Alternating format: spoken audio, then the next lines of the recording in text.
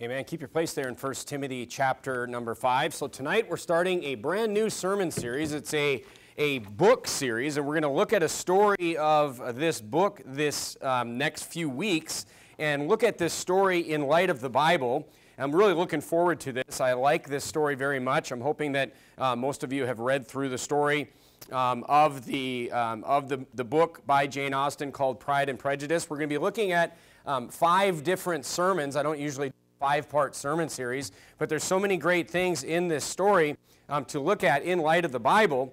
So let's get started tonight. Look down at 1 Timothy chapter number 5 and look at what the Bible says in verse number 14. Now, this story, Pride and Prejudice, is a story about, now, this isn't a, a, a verse by verse study through Pride and Prejudice, all right? So you're going to get kind of the whole story because we're going to look at concepts throughout this story. But first of all, before we even look at the Bible, what is this story about? Um, the concept of the story is a fictional story, uh, but it is a great story. And throughout the sermon series, I also want to show some tidbits on why it's such a popular story, even though it's not um, something that actually happened. It's not a actual thing in history that happened. It is fiction, um, but it is very good fiction.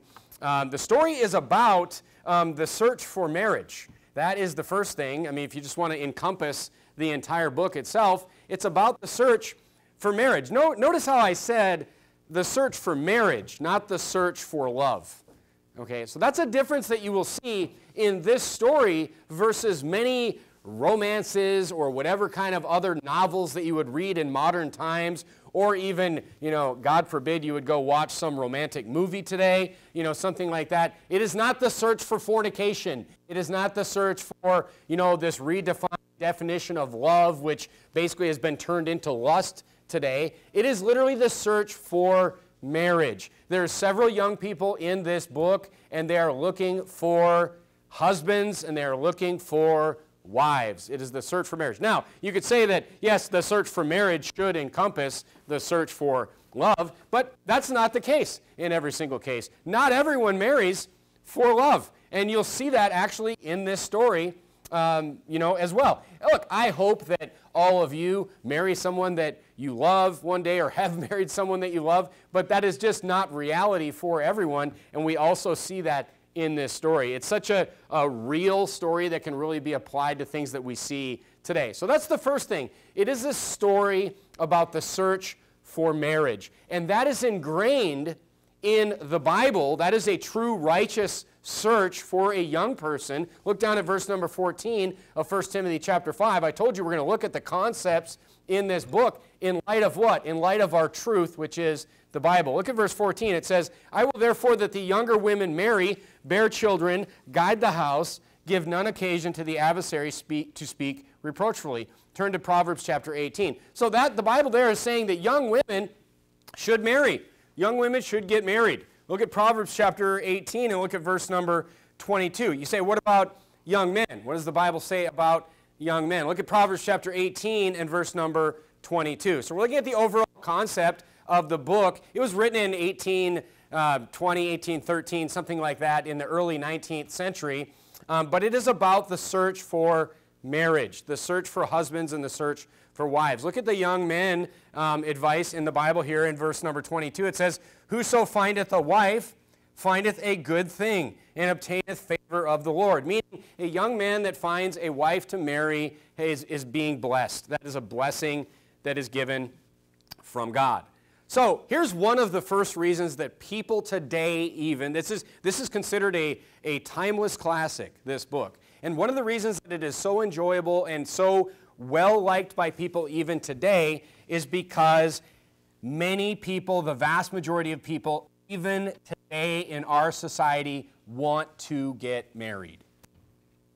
Even though it has been removed from Hollywood, has been removed from you know, modern stories or modern novels today, the stats show, you know, depending on what you look at, about 85% of people, when asked that are not married and never been married, about 85% of people want to be married, have a desire to be married. So this resonates with people, this search for marriage. Now, look, today's culture is attacking this. Today's culture is attacking marriage, which is God's institution between a man and a woman. It's teaching men that, you know, this is the fornication culture. It's an attack on marriage. Look, the Bible, not the Bible, but the culture today is teaching men that they don't need marriage. They don't need marriage because fornication is so openly accepted by both men and women that men don't need to get married to have physical access to women today. That's unfortunate that women have fallen for that, but it's the truth. But it is what? It's an attack on marriage itself. And that's the attack that men are underneath. But look, women are being taught the same thing.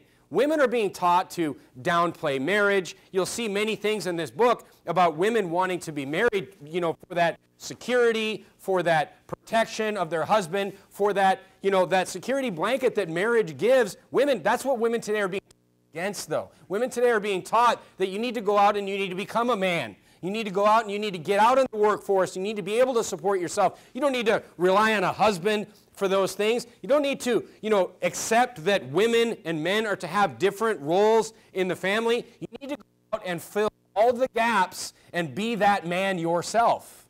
That's what women are being taught today. That's, that's feminism in a nutshell. But again, what is it? It's an attack on marriage.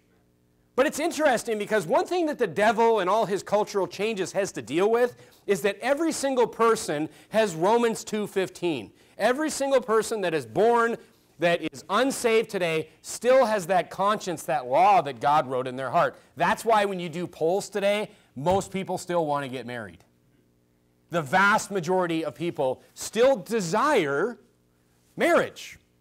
And that's what this book is about. That's one of the many, many reasons that I'm going to show you why this resonates with so many people and why it is such an enjoyable story, even though it's, it's, a, it's a fictional story. Why? Because marriage is honorable in all, the Bible says. And that's what is written in people's heart, and that's what normal people with an intact conscience, that's what they desire. It's very simple. So Pride and Prejudice is about it is told from the female's perspective on this pursuit for marriage. It is really told, look, there's many different stories in um, this book, but it is told mainly from one young lady's travails in assessing the character of prospective husbands in her future life. And there's so many valuable lessons to be learned from what she went through in assessing the character of people that could possibly become her husband.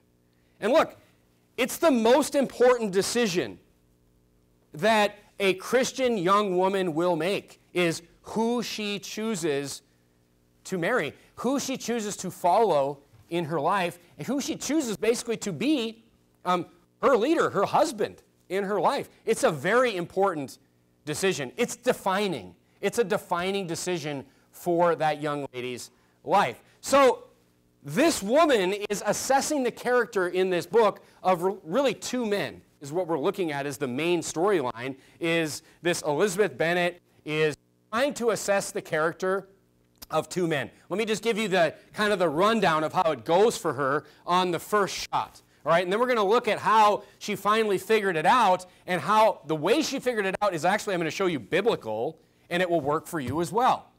So you're saying, well, I, I, would like to find a wife or I would like to find a husband. Well, everything that I'm going to show you here is from the Bible and it will work for you. And look, if you don't do it this way, you're, you're, you're rolling the dice and the dice are loaded against you in this culture today.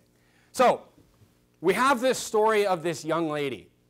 She has four sisters and she is trying to assess the character of two men. The first man, his name is Mr. Darcy and he is the kind of the main character of the book. But his his um, you know his demeanor is he's disagreeable. He doesn't say much. He seems grumpy all the time. You know, and then of course he's rich, so everyone just assumes that he's prideful because, you know, that's why he's quiet, because he thinks he's better than everybody. So everyone thinks he's pompous just because he has money that he inherited. And he's a very quiet person. He doesn't say much at all. And so people make all these assumptions about him. This is the prejudice part of the book, by the way. People make all these assumptions about him. That's what That's what prejudice means. It's like predefined assumptions that you make about somebody. So the main prejudice about this, and look, it was Miss Elizabeth that made these prejudiced assumptions about Mr. Darcy because of the fact that he wasn't well spoken, he wasn't really spoken much at all, especially when he didn't know anybody and he didn't know her. Look, he's a man of few words. He was a man of few words, especially at the beginning half, probably, of the story. Then you had another man that she had met and that she was trying to assess the character of, and his name was Mr. Wickham, George Wickham. This man was the opposite of Mr. Darcy. He was very friendly. He was very charismatic. He was very funny. He was easy to talk to. Everybody liked him. This man. So the two characters were very different. So what did she do? She decided, she made her decision very early on that Darcy had bad character and that George Wickham had good character. You know, spoiler alert. Spoiler alert, this is not a verse by verse study through Pride and Prejudice. It's a study looking, using the Bible to look at this story. But she was wrong. She was exactly wrong. She got it. The decision she made at the beginning was the opposite of what turned out to be true. She made a wrong assessment. And that's what we want to avoid tonight. Now, there's, there's a profound quote, and I always I try to read books with a highlighter because whenever you read something that is just a profound quote, I like to just highlight it so I don't have to go back and search for it later. But, you know, there's a very profound quote in chapter number 40 where Jane, Elizabeth's older sister, she finds out because one of the things from the, if you watch the movie, you couldn't finish the book and you watch the movie, I'm going to try to point out things that you missed there too. All right, but in the book, Jane actually knew much more than she did in the movie. You know, you just can't put all these characters in a movie that's two hours long. But one of the things that was in the book that was not in the movie was that Jane was informed of what was happening with Darcy and with Elizabeth. So they find out the truth about Mr. Wickham and Mr. Darcy and who's really the good one and who's really the bad one. And there's a profound quote where Jane says this. She says, One has got all the goodness, and the other all the appearance of it. So here you had the man that looked good was actually bad. And then you had the man that looked bad was actually good. She was completely wrong. Still read the book, but she was completely wrong in her first assessment. So the question is, how did she figure it out? How did she figure it out? Is it biblical how she figured it out? What does the Bible say? And can we, can you use that same method to figure out or assess someone's character in who you would like to marry? Or just assess someone's character in general? right? this isn't just about young people who want to get married. This will work in any assessment of character. So, really, the subject of the sermon this evening is assessing character. How do you assess someone's character and how do you get it right? And we can see how not to do it and how to do it both from Mrs. Miss Darcy and what she turn to 1 John chapter number 3. So here's the problem statement right here. 1 John chapter number 3. What was the problem? The problem statement is this. What people say is not always who they are. That's the first problem right there. What? Are you telling, pe- you telling me people could say one thing and they're, they're a totally different person? Yes. Everyone thinks they are great. This is why, like, you know, resumes are, you know, I don't want to say they're completely worthless, but they're pretty much worthless. This is why they have interviews. Yes, you have a resume, but a resume is just a bunch of lies on what people are telling you and how great they are, is, is what they turn out to be many times. But you have to actually interview people and talk to them and find out who they really are. What are you trying to do? You're trying to assess them. You can't just listen to what people say. Unfortunately, I wish you could just listen to what people say, but unfortunately, you cannot. So here we had, here we had this man. We had this man, uh, George Wickham. He sounded very good to everyone. Everyone loved this man. Everyone thought that he was just the greatest guy. Everyone thought that he was friendly and funny, and everybody liked to hang around with him. And then you had this other guy who, you know, this, this Mr. Darcy who was rude. he was so bad at expressing himself verbally that people just, he was, look, he was so bad at making himself known to people verbally that when he proposed the first time, he proposed marriage to Miss Elizabeth for the first time. He literally tells her he loves her and asks her to marry him. She had no idea that he even, it was a shock to her. I mean, I think the quote from the book was, the, her astonishment was beyond expression, the book said. She had no idea that he even had any interest in her. That's how bad he was at expressing himself. All right, so you had one guy who was very good, very good, sounded great, and another guy who was just horrible at it. And people just assumed all the wrong things. Look down to 1 John chapter 3. Look at verse number 18. Look at what the Bible says here. It says, My little children, let us not love in word, neither in tongue, but look at this, but in deed and in truth. Look at the next verse. It says, And hereby we know that we are of the truth and we shall assure our hearts before him. So, what the Bible here is saying is that truth, being a truthful person, is when your words, or let me just let me say this the other way, when your deeds match your words. That's being in truth. That's being a truthful person. But the problem is that not everybody's deeds match their words. That's the problem statement tonight. That's the problem that Miss Elizabeth had in this book with her first character assessment and why it was such a complete failure. So the question is how can I tell? How can you tell? If someone's going to come and tell you that they're super great and tell you that they're awesome, and that could be a complete lie, you say, Well, I just don't know the person very well, I just met them. Well, you know, obviously there are some things that can be done. Turn to 2 Corinthians chapter 13. The interesting thing is that Elizabeth's mistake became her answer. And that's what I want to show you from the Bible tonight. Turn to 2 Corinthians chapter 13. And when you turn there, so the question is, how do you assess someone's character?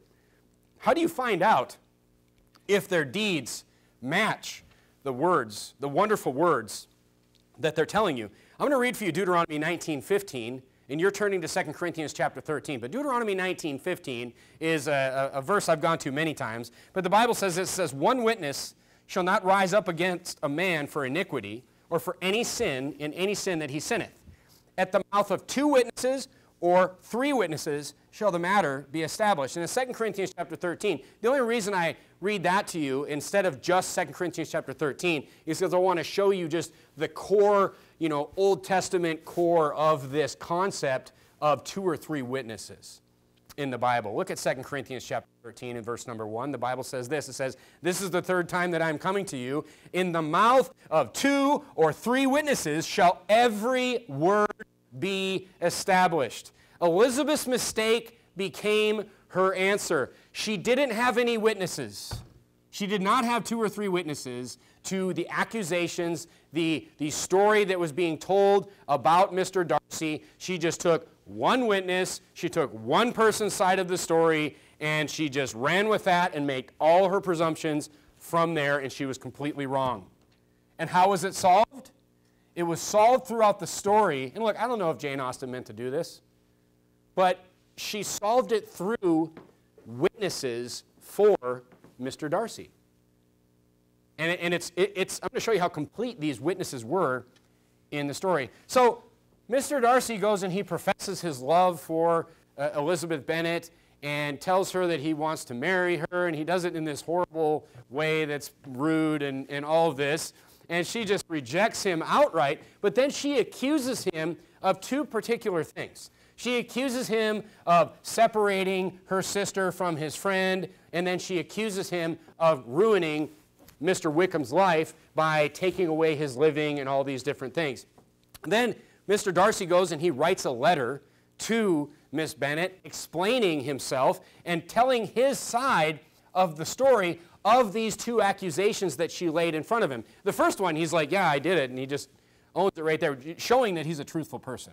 He doesn't try to, I mean, that's just a, a, a tip for you right there. He doesn't try to cover it up. He just is like, Yeah, I did it, and you may not understand it, but I did it in defense of, you know, I did it in defense of my friend. I did it for um, protection of him. And, you know, I'm sorry that that hurt your feelings, but I did that. so he was, he was pretty honest about the first one. But in the second one, he explains, you know, the wickedness of this man, you know, George Wickham, Wickham, what he had done, what he had done to his sister, what he had done to other people, how he was a, uh, he was a, a thief, he, he had unpaid debts, he had gambling problems, he was a serial fornicator, just, just living a wicked life. And he was a wicked man, and he was cut off um, from the estate. And he just explained his side of the story. But he does something very important in the, at the end of the letter, which is this he gives a witness. He gives a witness to the story that he is telling, and he says, you know, check with my, he encourages her to go to his cousin, Colonel Fitzwilliam, for verification of everything in the letter. He literally provides a witness. He says, this man, this my, my cousin, Colonel Fitzwilliam, is, is he's, he's witness to all these events. He, he's an executor of my father's will. It, it's, it's really um, a brilliant witness because the fact that he was an executor of Mr. Darcy's father's will shows that he even had the trust of Mr. Darcy's father. So he gives, and he tells her, go to him and ask any of the details of the things that I told you in this letter. So look, she realizes right there she doesn't even need to go to him. She realizes, like, why in the world would he even put that in there if this wasn't true? If this guy wouldn't corroborate the entire story. She, does, she realizes it's not even necessary. She's, she's not a stupid person. She realizes that it's not necessary to even consult him because of the fact that he put it in the letter to have him. So that covers the accusations. That covers the accusations that Mr. Wickham brought against him, but she still doesn't really know who he is as a person, which brings in the second witness that we see in the story. And she is on a, a trip, a traveling trip through England with her aunt and her uncle, and they happen by you know, Mr. Darcy's estate when he's not home. And it was a common thing where, where there was these large estates in the countryside. You could actually tour the home could tour the home. So, kind of against her will, she goes with her aunt and uncle and she tours this magnificent, magnificent estate of Mr. Darcy when he's supposedly not home, and they meet the housekeeper. They meet the housekeeper, this, this older lady. Her name is Mrs. Reynolds, and the entire time she is giving the tour, she gives this incredible witness to Mr. and Mrs. Gardiner, Elizabeth's aunt and uncle, and she gives this incredible witness to Elizabeth herself on how wonderful of a person and how great of a man Mr. Darcy is. It gets to the point where even Mr. and Mrs. Gardiner are like, what in the world? What, we've heard all this stuff about him. I mean, how could this be true?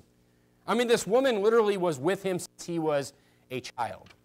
And she's giving this incredible, you know, witness to him. She, she makes this quote that says this. Here's another profound quote. Turn to Proverbs chapter 22, where we were this morning.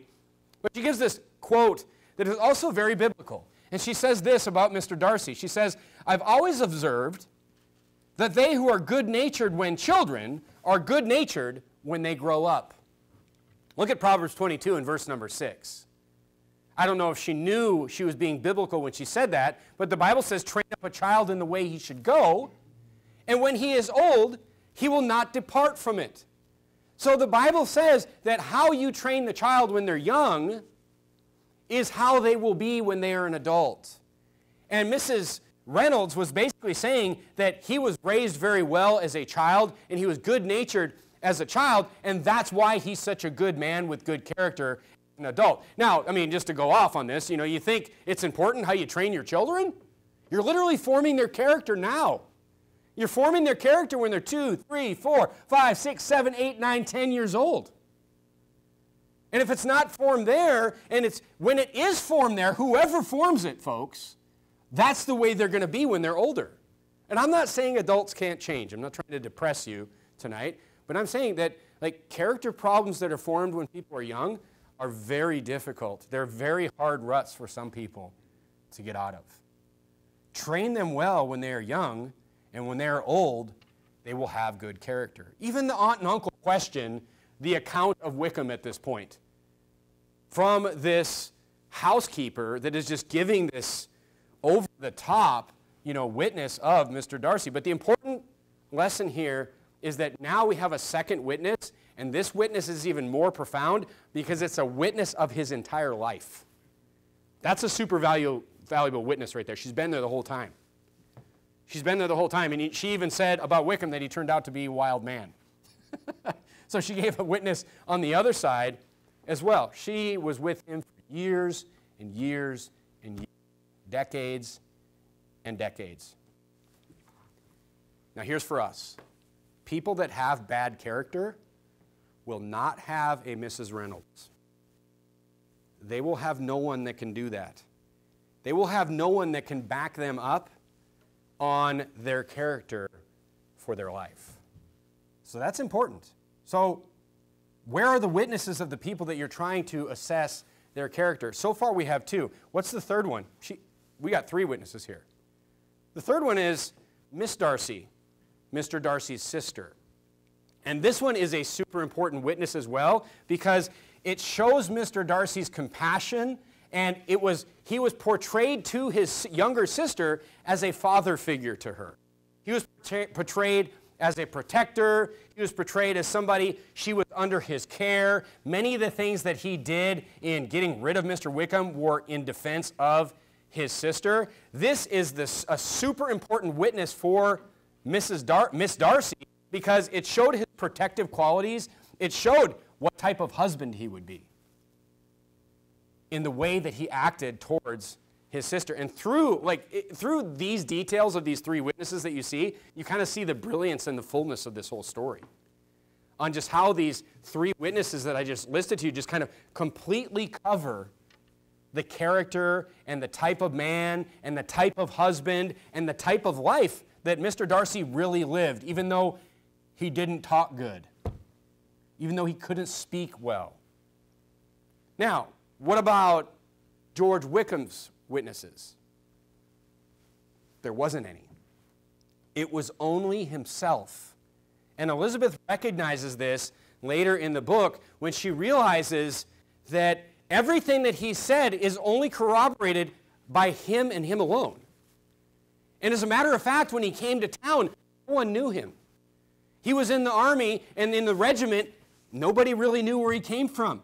Nobody knew who he was. He was kind of this guy, when he got in trouble later in the book, like nobody really knew much about him because he moved around all the time. There was only his story. He was a man constantly on the move in his life. He had debts everywhere he went. He was this serial gambler. He was the he had elopements everywhere he went, seemingly. He was this serial fornicator. So he was constantly in trouble, and thus constantly on the move. He was constantly being moved around, and even towards the end of the story, when he moves the last time, he's moved around because he got in trouble. Because he got himself in trouble. This is a sure sign. Now, here's, here's application for us. This is a sure sign of character problems. This is a sure, this is what Jacob said to Reuben unstable as water. Somebody, look, people that can't stay put. People that can't stay in a job, that are constantly moving around, constantly changing what they want to do or where they need to go, who they need to work for, all these different things. They can't stay at a job. People that can't stay in a church, same thing. I've often said, I've often said about our church, and I kind of say this on purpose. I kind of say this on purpose because for the vast majority of people, it doesn't bother them when I say something like this. But I, I've said this many times. I say, sooner or later, in a church like this, sooner or later, we spend so much time together and we have so much in common and we're in such unity together as a church, as we should be. Look, sooner or later, we're going to find out who you are. That's how it works in, in a church. And look, some people have been very offended when I said that. I've had people come in my office after I've preached that and say, I don't like what you said there. And it turned out they were very, very bad people. And eventually we did find out who they were. But I always take notice on that. Because most people, you say, sooner or later, we're going to find out who you are. Most people in this church are like, hey, I want you to know who I am. I want to be friends. I want you to know about me. I want you to know, you know, where I came from. I want you to know what I'm interested in. I want you to know who my family is. I want you to know who my kids are. I want your kids to know my kids. I want, look, we want to be, we're not a motorcycle club here. We're connected on the deepest levels. We agree on pretty much everything in this church. These are like deep rooted friendships here. I mean, this isn't some shallow, you know, club or something where we all get together and paint a picture or something or talk about a book. Oops. This is a deep rooted relationship, the, the relationship that you will have with your brothers and sisters in Christ. You shouldn't be trying to hide who you are. It's not going to be possible. That's the problem. That's the problem. It's not going to be possible. That's why after one year, two years, people like this, they got to go. They got to go. They're church hoppers. They're like, people figure it out. They, they've run up the debts. The jig is up. They got to go. Because they can't hide it anymore. These are the George Wickhams. These are the Wickhams. So this is what you have to ask yourself tonight as we go through this story. What would people that have known you for years say about you? It's a good question to ask. What would your witnesses say about you? You're like, well, Pastor, I, I just got saved not that long ago. Okay, well, if you just got saved not that long ago, you need to get stable. You need to get stable. You need to get in church. You need to start building that testimony now. Like when to start building your testimony is kind of like when you should plant a tree, like yesterday. Right? I mean, you should plant a tree yesterday because, you know, time matters. You got to start building those witnesses now because those witnesses are going to matter. Young people that want to get married, young people that run in our circles that want to get married need to very carefully understand this point. You need to understand that with the crowd that you are running in, you meet somebody from another church. Look, there is people from, like, we know hundreds of people in all these different like minded Bible. I mean, this is this turning into such a Bible believing explosion in this country. It's a wonderful thing.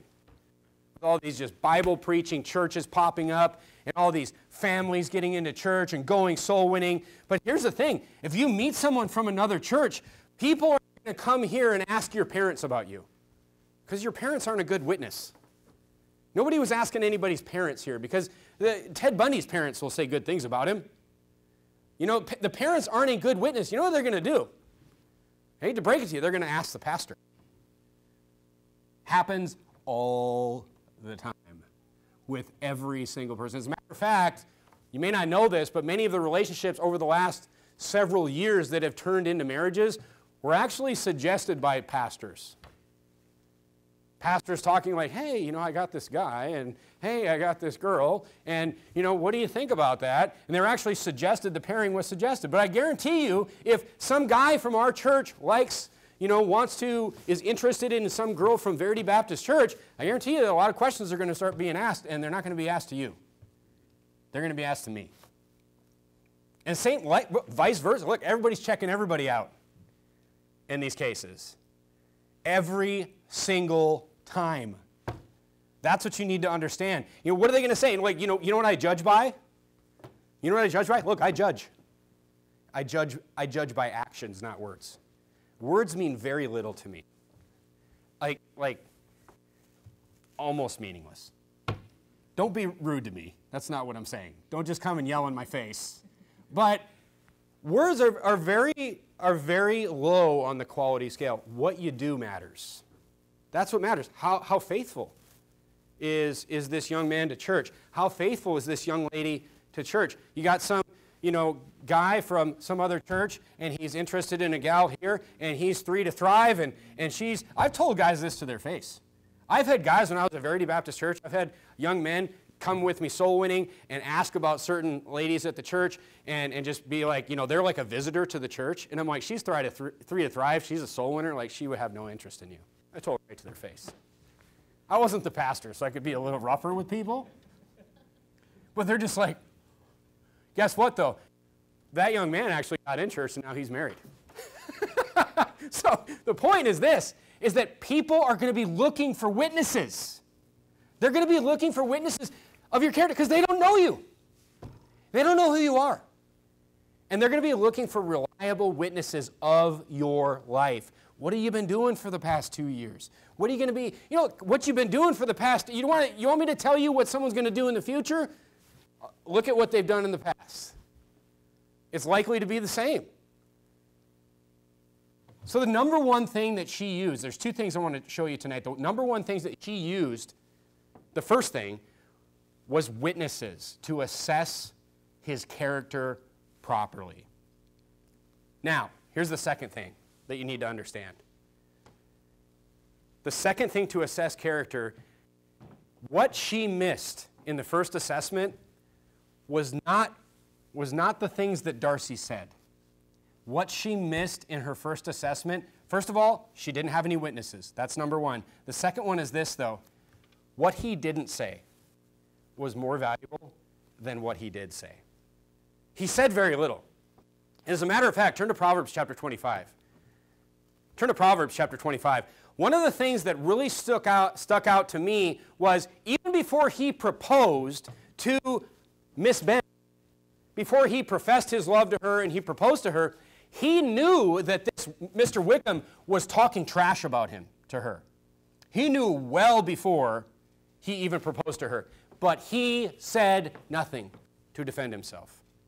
That is a huge benefit to his character right there. You say, why in the world?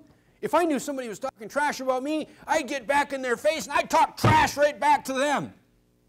But that is not what the Bible says. He just let it happen. He let it happen at, at the expense of himself to protect other people. Look at Proverbs chapter 25 and look at verse number 21. It says, If thine enemy be hungry, give him bread to eat. And if he be thirsty, give him water to drink. I'm not saying he did that.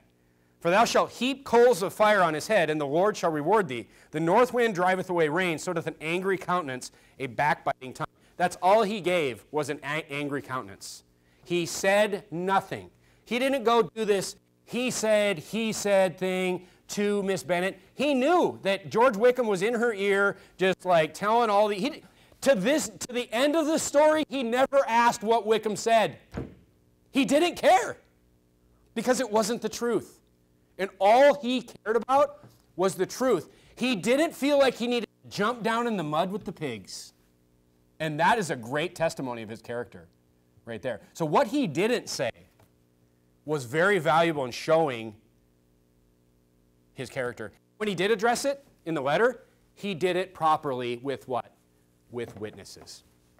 He didn't just write some letter that said, This is my side of the story. He said, No, this is what happened, and this man can back it up. Man is solid in the way he did that. See, because oftentimes, oftentimes, and we should all kind of take a lesson from this. Oftentimes, when you find men like this, these men of few words, one thing that you will realize when you find men like this, men that just speak very little, what you will find is when they do talk, it's profoundly important in what they say. I don't know if you've ever known men like that that don't say much, but you know, when they do say something, it is very meaningful when they do say something. And I want to use an example of the letter that he wrote to her explaining the two things. It's the only letter that he wrote to her in the book, but he explains these two accusations that she made against him. And then he ends the letter in this very profound way. He ends the letter in this sentence that says this. And th- think about it. this is a man of few words. This is a man that she thought was uncaring. This is a man that she thought was harsh and rude and pompous and prideful. And he ends the letter with this statement. He says, I will only add, God bless you.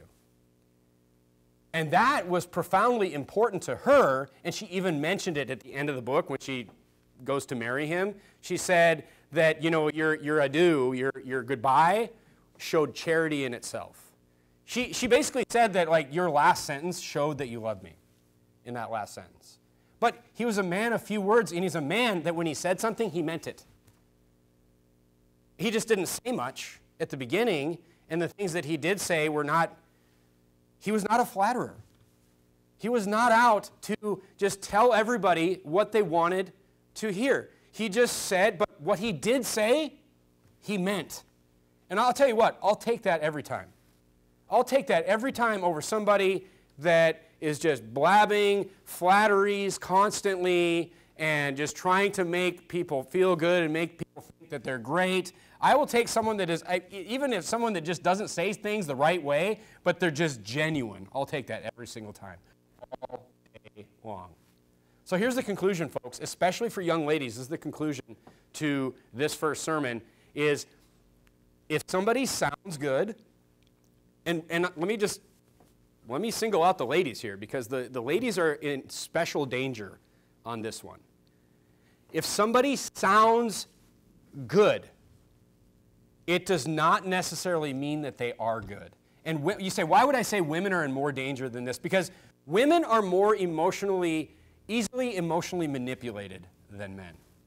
You can agree with that or not, but the Bible says it all over the Bible. Women are the weaker vessel.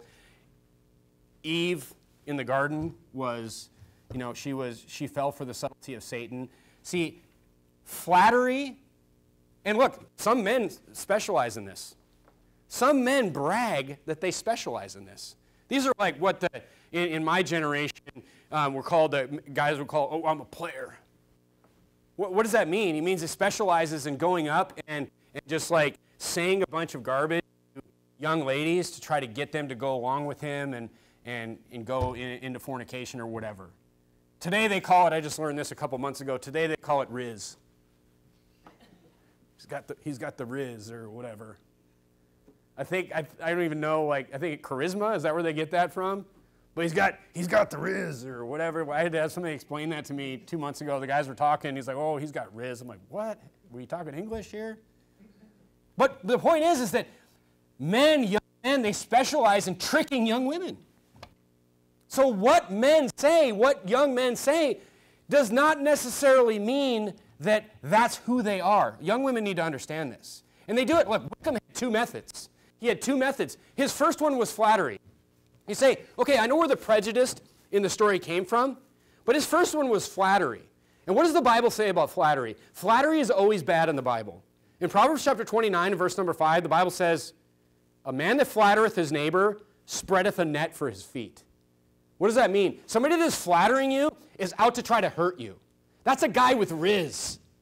He's out to try to snare some girl into his traps, into sin. He's trying to convince her that he's something that he's not. He's trying to uh, manipulate her emotions to think that he cares about her when he doesn't. Guys laugh about this stuff. This is what players and Riz are all about. So Wickham used the same tactics of flattery. He was, oh, this is beautiful, and, and just was always like flattering the young ladies. And look, he was very good at it. They believed him, he made them feel important, but he was a very bad person. But guess what? You say, where's the pride come from? And look, Darcy had some pride too. But there's only one person that gets fooled by flattery, and that is a prideful person. Flattery doesn't work on somebody that is prideful. If I went to a conference and I was at a conference with Pastor Anderson and Pastor Jimenez and all these great pastors, and somebody came up to me and said, You're the best pastor I've ever seen, and your sermons are way better than everybody else's. I'd be like, What are you trying to do? Are you trying to steal my car right now, or what's going on here? Because this is how people at work, they, they flatter the boss, right? They say, Boss, you're the best ever. And what? It's the prideful boss that says, I am the best. well, well, that young man has it exactly right. I'm going to get I'm going to give him a promotion. And then they come in, boss, I love what you've done with everything and you make all the best decisions and you're just like, well, I am awesome. I'm the smartest boss ever. And then that person does get, look, it works because there's many prideful bosses out there. There's many prideful people, but flattery only works on the prideful. Remember that. So flattery works on you. You're a person. It's very simple. So he used flattery. That's the first one. But the second one, and young ladies everywhere, please listen very closely to this and tell all your friends. The second one he used was sympathy. Sympathy. He made Elizabeth feel sorry for him. He made her feel bad for him. Young ladies all across everywhere that are listening to this, do not marry someone that you have sympathy for. Fixer uppers, that's for your house. and maybe your car, not your husband. You do not want a fixer up for a husband. He's going to be in charge, he's going to be leading you for the rest of your life. You don't want one that's broken. You want one that's good to go out the garage. You want one that's strong, that can lead. Look, I would rather have somebody, you know, if I, you know, I'm the father of a daughter. And I would rather, ha- I don't want some fixer up or broken person, you know, it's, it's just not going to happen. But, you know, a woman would make a disastrous decision if she, she married a fixer upper that she felt sorry for. Happens all the time. You want somebody that is going to lead strong and confidently and through the direction of the Bible. And look, he may lead strongly and confidently and be young and make stupid mistakes. I'd rather have that than a fixer upper. Because a fixer upper is a disaster. Like I said, that's for your house. That's for your, that's for your kitchen floor. That's for your cabinets, not your, your spouse for the rest of your life. So the point is this what people say should be taken of very little value. There must be proof that they are a very good character through witnesses and listen to the things that they don't say on top of the things that they do say. You say, well, you know, I don't have any witness. I, I just got here, I just got saved. They must build witnesses. This isn't something roll the dice on. This is the rest of your life. You know, this must be built through time. And the Bible gives us some very clear methods here.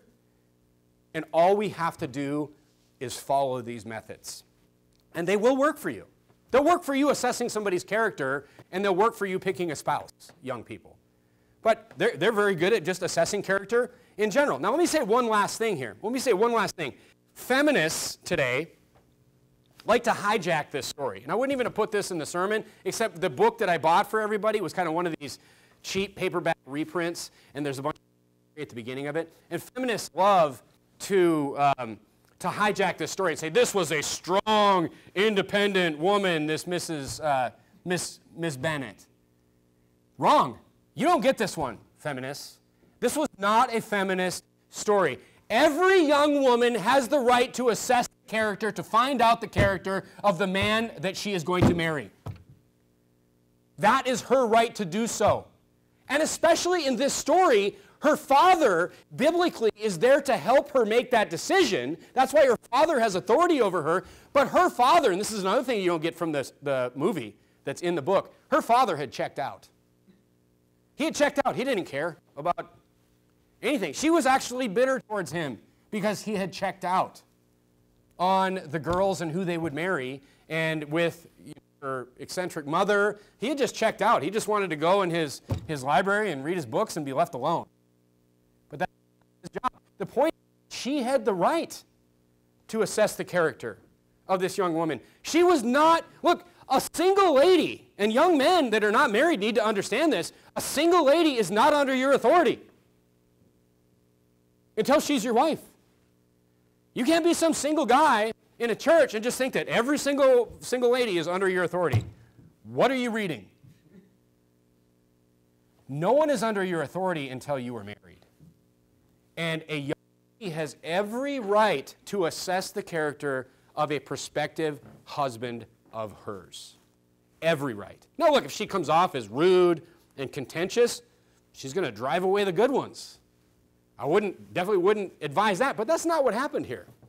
You just had an intellectual person trying to figure out who this person was that she was going to spend the rest of her life with and be under his authority.